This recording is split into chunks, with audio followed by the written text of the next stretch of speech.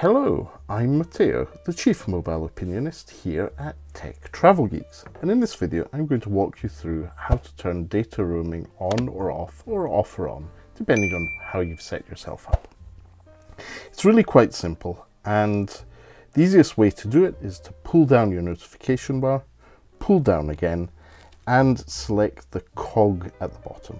If you tap that, you can then go to Network and Internet, from network and internet, select your SIM card. In this case, I just have the one inserted. And then in the SIM card menu, you'll see that you have an option for roaming. Now, if you were to toggle this on, it will give you a little warning, say, asking you if you really want to allow data roaming and that roam data roaming charges may apply. Click OK, and that's how you turn it on. Likewise, if you want to ensure that you have data roaming off uh, and you want to save money whilst traveling, the easiest way to do is pull down your notification shade, pull down it again, select the cog at the bottom of your screen next to the power option, go to network and internet, go to your SIM cards and select the one you want to use, and in this case, just toggle data roaming off.